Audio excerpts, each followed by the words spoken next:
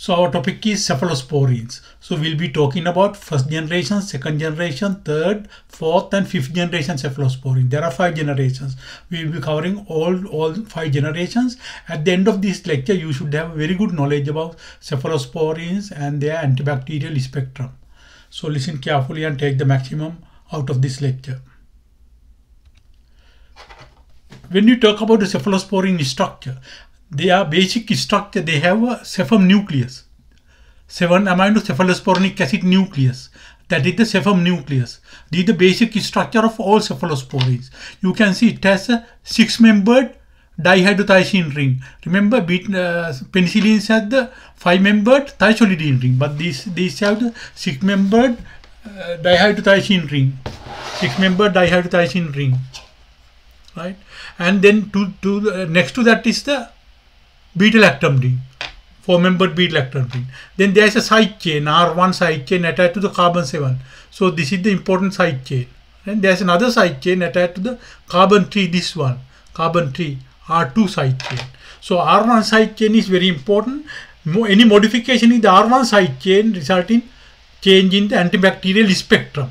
So if you want to increase the gram-negative coverage or increase the gram-positive coverage and add anti-pseudomonal activity, you modify the R1 side chain.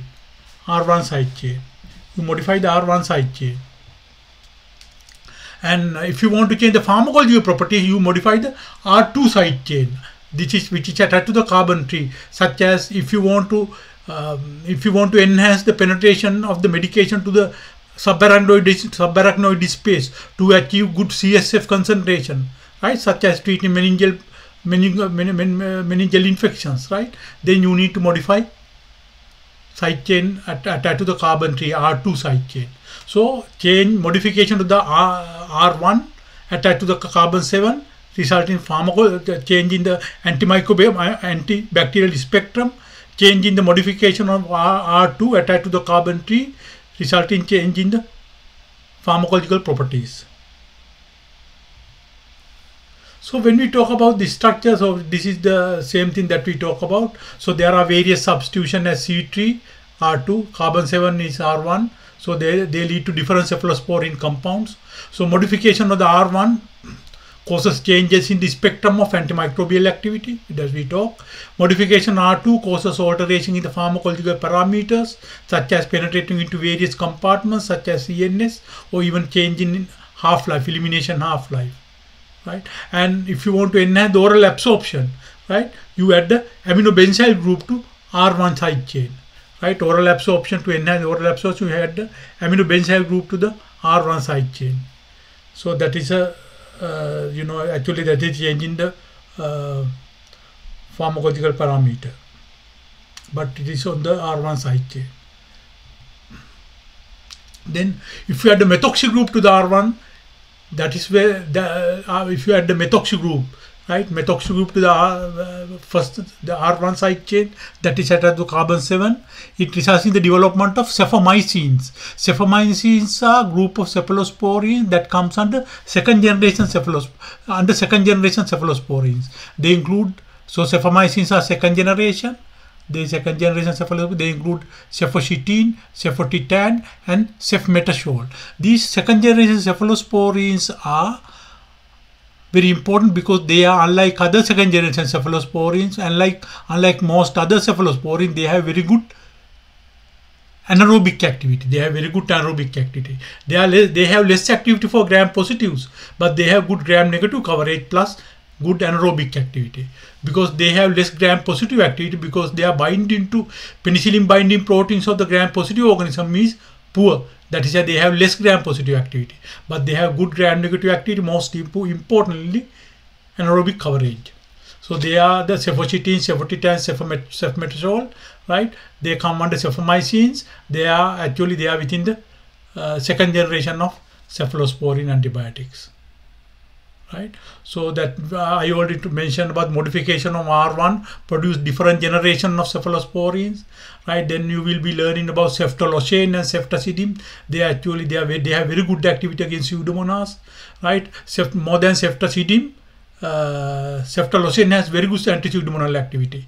It's a fifth generation cephalosporin. Ceftolozane is a fifth generation cephalosporin. Ceftazidime is a third generation cephalosporin. That we'll be talking in detail, right? So remember, these anti-pseudomonal cephalosporins are very important to know, right? Any any medication that have anti-pseudomonal activity, remember those things. Those are very important uh, areas in microbiology and infectious diseases, right? Ceftolozane is very, very effective more than ceftazidime against uh, Pseudomonas aeruginosa. Then also by addition of a ureido group to the R1 side chain such as cefoperazone, right? It increases the anti-pseudomonal activity. If you remember ureido penicillins, if you remember my penicillin lecture, right, that uh, we finished about few days ago, penicillin, under penicillins I mentioned about uh, penicillins. Under that we talk about uh, piperacillin. It piperacillin has very good an, uh, anti-pseudomonal activity. Very good anti-pseudomonal. So cefoperazone also have ureido group. So remember the ureido group is actually associated with good anti-pseudomonal activity, good anti-pseudomonal activity, ureido group right? So has anti-pseudomonal activity. Then moxalactam. Moxilactam has carboxyl group attached to the uh, R1 side chain. If you remember carbo, carbopenicillin, when I talk about penicillins, I mentioned about carboxypenicillin. There is a carboxyl group attached to the side chain of that penicillin that also enhances the anti-pseudomonal activity. The example was triclosan, right? But here carboxyl group attached to the R1 side chain result in formation of moxalactam so they also have anti-pseudomonal activity. So the point is ureido group, addition of ureido group resulting anti-pseudomonal activity, addition of a carboxyl group resulting anti-pseudomonal activity. That is why cefoperazone and moxalactam, which are cephalosporins, have anti-pseudomonal activity. Then also we'll be talking about fifth generation cephalosporin, which are new cephalosporins.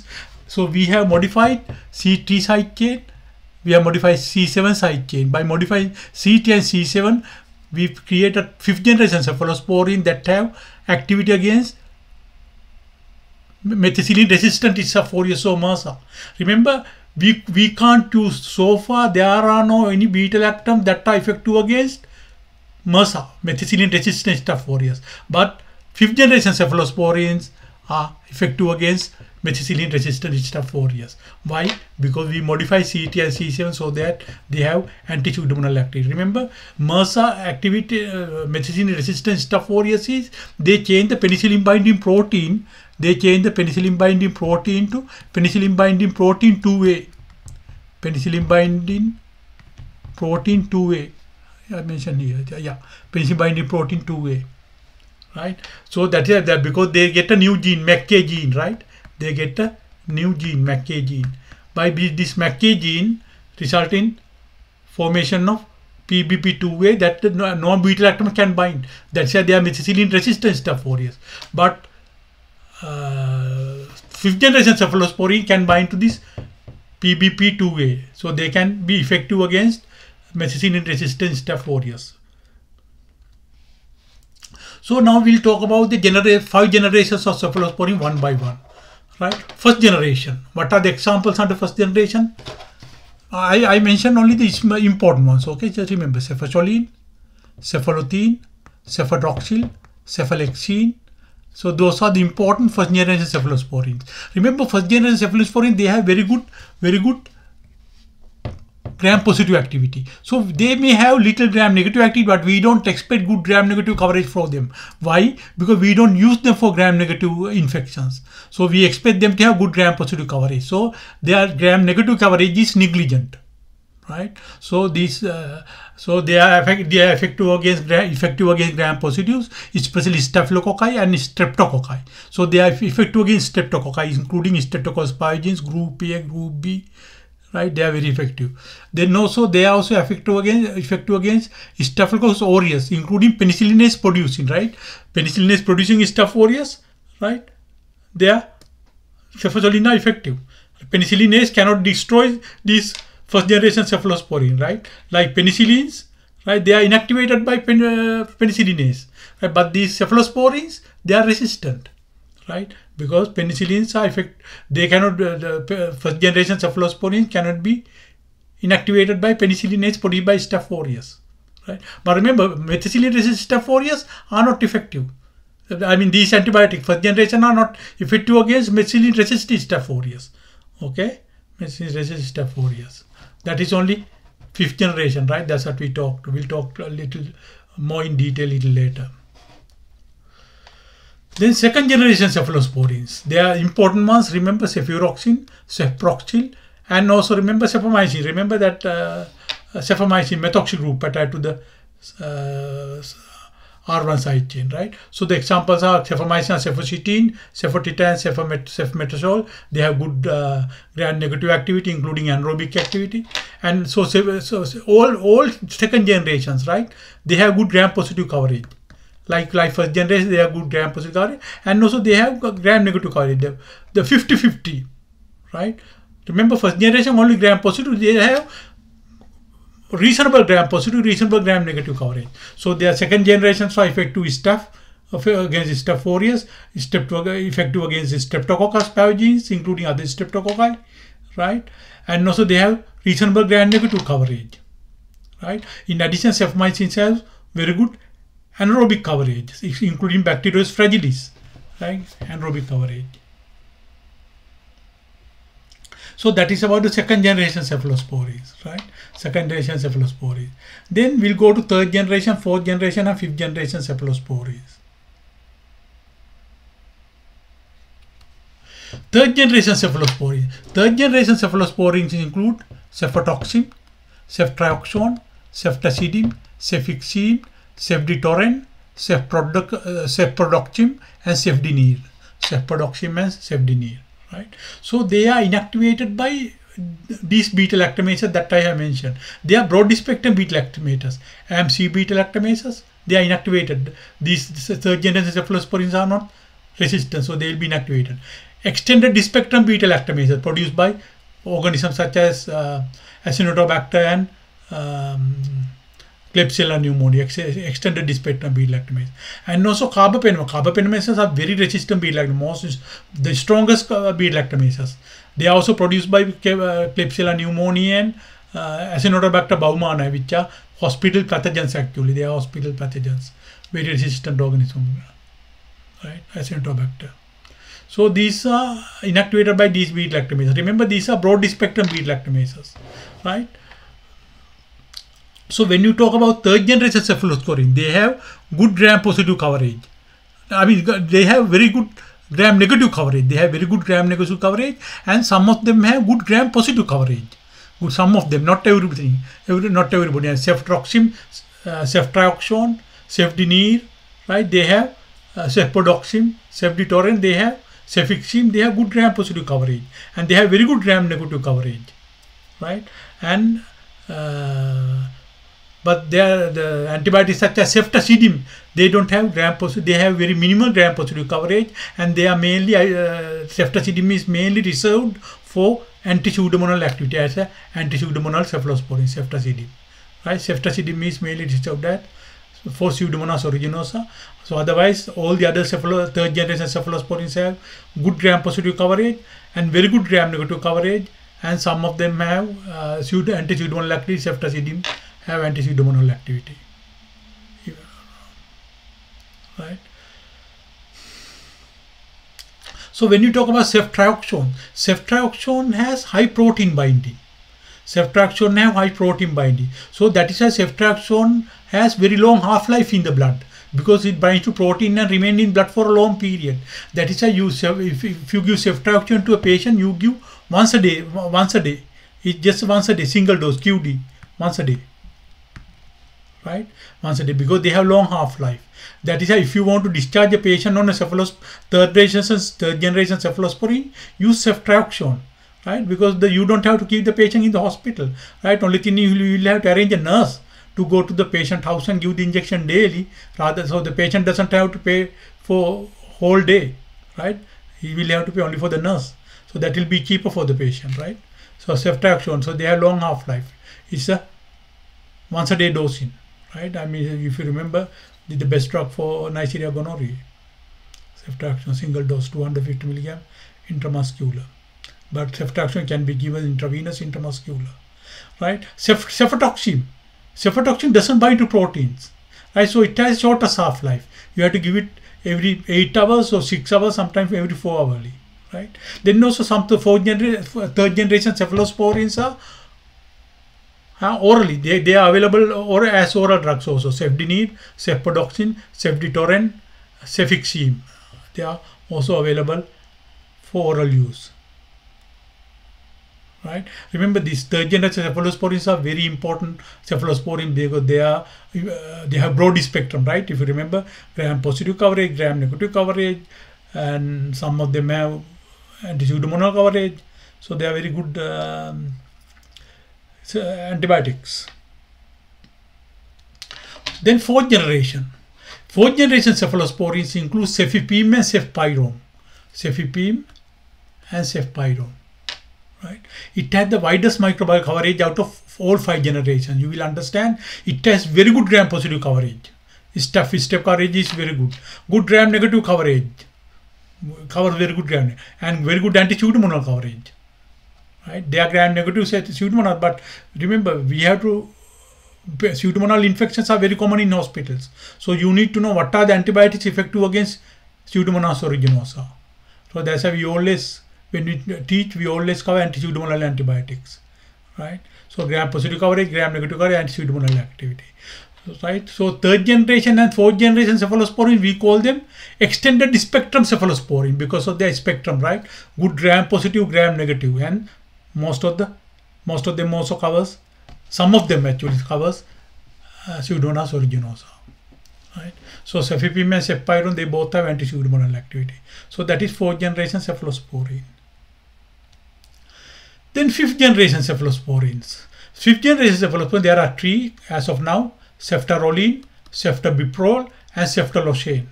Ceftaroline, cefta, uh, ceftobiprole, ceftolozane. So remember I told that they have MRC active because, right, they can bind to penicillin binding two-way. Penicillin binding two-way, right, encoded by the mecA gene of the methicillin resistant aureus. mecA gene, right? So that's why they are effective against um, methicillin resistance of Staph aureus. Right. They also have other gram-positive coverage, right? Streptococci, Streptococcus pneumoniae, and ampicillin susceptible Enterococcus faecalis, right? So they have they have good gram-negative coverage, right? Good gram-negative coverage, and including uh, like similar to the good gram-negative coverage, similar to third generation cephalosporins. They have good gram-negative coverage. Then also ceftobiprole and ceftolozane also have very good um, anti-pseudomonas coverage. Ceftolozane is very powerful. Ceftolozane is very powerful. It is is uh, MIC is 4 to 16 fold lower than ceftazidime. The minimal inhibit inhibiting concentration needed to inhibit the minimal inhibitory concentration of ceftazidime is not minimal inhibitory concentration of ceftolozane is 4 to 16 fold lower than ceftazidime. That means they kill at a lower concentration of the drug. That means ceftolozane is very potent against very potent compared to ceftazidime. That's why I put here. Ceftolozane has enhanced activity against Pseudomonas aeruginosa. Uh, minimal inhibitory concentration of ceftolozane against Pseudomonas aeruginosa is 4 to 16 fold lower than ceftazidime. Right? ceftolozane is available combined with tazobactam also, right? So ceftolozane is available combined with tazobactam. So that tazobactam is a beta lactamase inhibitor. So that it will the ceftolozane tazobactam combination will be very effective against beta lactamase producing organisms, including beta lactamase producing Pseudomonas aeruginosa. Right? Remember, ceftobiprole also has anti-pseudomonal activity, but ceftolozane is very powerful against Pseudomonas aeruginosa much, much more powerful than pseudomonas uh, that we talked, right?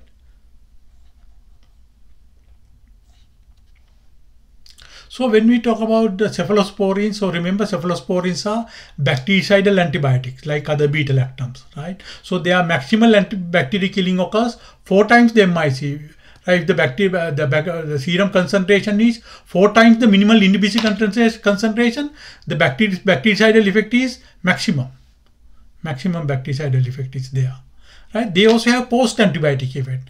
You must be wondering what is post-antibiotic. Post-antibiotic effect is the effect of the antibiotic persists even after the antibiotic has been cleared from the blood. There is no antibiotic in the blood, but the antibiotic effect, the bactericidal effect continues. That is post-antibiotic effect. The, uh, the cephalosporins have post-antibiotic effect. Actually, it has post-antibiotic effect only against gram-positive bacteria. They are the, the post-antibiotic effect gram-negative bacteria is very very minimal or very almost absent right? So they have post-antibiotic effect against gram positive bacteria. That means even in the absence of antibiotic, uh, you know, the, when you give the antibiotic, the antibiotic, gradually antibiotic will be cleared from the circulation.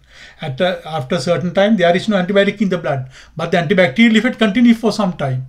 That's the week. That's the duration. That is the. That's what we call as post-antibiotic effect.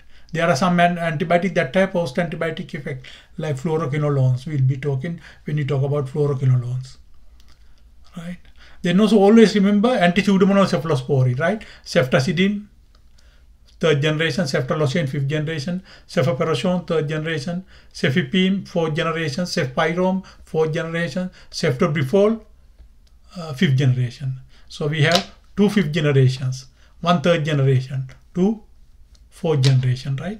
Two fourth generation. Cefepime, cefpirome, fourth. Ceftazidime, ceftazidime third. Ceftobiprole, uh, uh, fifth generation. Cefoperazone also third generation, right? Remember, cephalosporin have no activity against chlamydia mycoplasma. Can you just think why chlamydia mycoplasma has cephalosporin has no activity because they have chlamydia have very they, there is very small amount of peptidoglycan. Mycoplasma they lack peptidoglycan. Remember cephalosporins act on the bind to the penicillin binding protein which is transpeptidase and inhibit the penicillin no, beta lactam not uh, peptidoglycan cross, cross-linking. They inhibit the peptidoglycan cross-linking. Right? They inhibit the peptidoglycan cross-linking. So cephalosporins have no activity against chlamydia mycoplasma. Listeria monocytogen, Listeria sp they are gram positive, right? So they have peptidoglycan, but they are uh, the Listeria are intrinsically resistant. They are they are intrinsically resistant. There is no activity at all, right? So though they are gram positive, cephalosporins have no activity against Listeria monocytogenes. So remember that and that's a very important point that they test in the board exams actually. Listeria have no activity uh, no, uh, cephalosporins have no activity against listeria because they are intrinsically resistant. So remember cephalosporin penetration into the cells is very poor. Into the cell they don't penetrate well. So that is why they are not effective against intracellular pathogens such as Legionella, right? Legionella pneumophila infection, right? They are intracellular pathogens. So they are not effective because they, the, the penetration of cephalosporin into the cells is very poor. Then CSF penetration by the first and second generation cephalosporins is poor. That's why we don't use first generation, second generation cephalosporins against mening, mening, meningeal infections because their CSF penetration is poor. Actually, parenteral cefazolin, parenteral cefuroxime, sorry, parenteral cefuroxime is somewhat effective second generation cephalosporin, but uh, you don't rely on anti uh, meningeal effect on uh, from the second generation cephalosporin. So you have to use parenteral third or fourth generation cephalosporin. They, they have good CSF penetration, third and fourth generation cephalosporin. Then also uh, uh, cephalosporins are excreted mainly by the glomerular filtration and tubular secretion. So they are mainly excreted to the kidney, right? Remember, they, look at this one, glomerular filtration. They're mainly glomerular filtration. Then there is some tubular secretion also, like penicillins that we talked the other day, right? So tubular secretion is blocked by probenecid. Probenecid. So when the, if you want to increase the serum concentration, use probenecid. It will inhibit the it will block the tubular secretion. Those have is some cephalosporin retained. Only the glomerular filtration works. Does that make sense? Right? So that is important to remember. So uh, if you use cephalosporin combined with probenecid, you can increase the half-life of cephalosporin. There it results in increased serum concentration of cephalosporins. Next, we'll talk about side effects. Right. So when we talk about side effects, hypersensitive reactions are the most common. Right. But when you talk about side effects, they are less than that of penicillins, right? Common hypersensitivity reactions include rash and eosinophilia.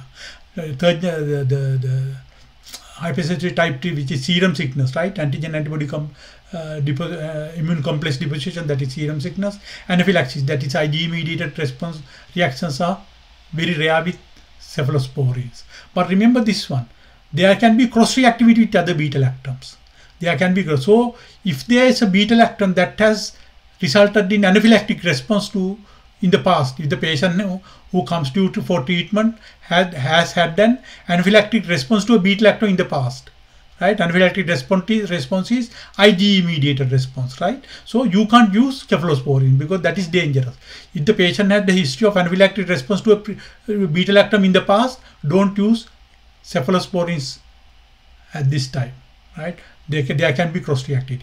But if the patient has a, a uh, hypersensitive response, it is not a non-IgE mediated hypersensitive response, right? No problem. You can use cephalosporins, right? But remember, if the if only the patient has anaphylactic response, which is Ig mediated response, you don't use cephalosporins.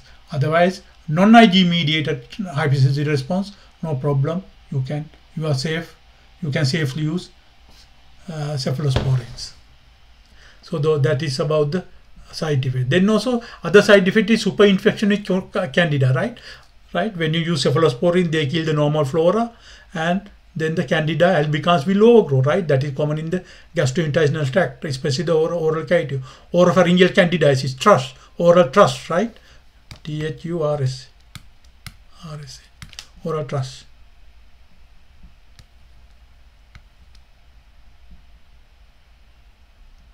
oral thrush, right?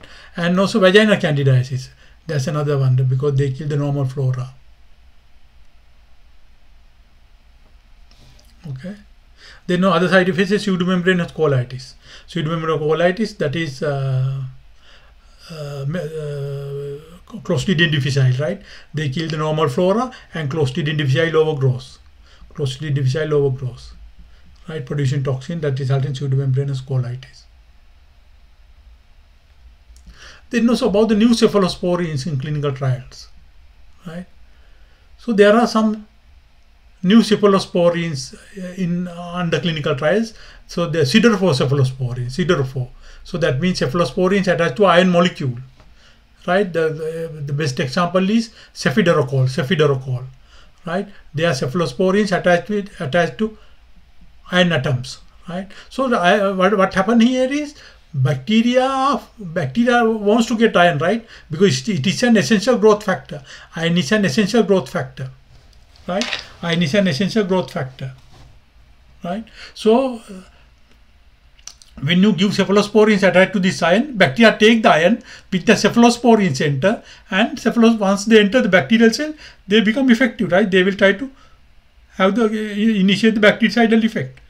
So that's how they work. So because of the iron so bacteria will willingly take the uh, uh, the iron in into the in, into the cytoplasm, but with that attached cephalosporin also uh, goes in, right?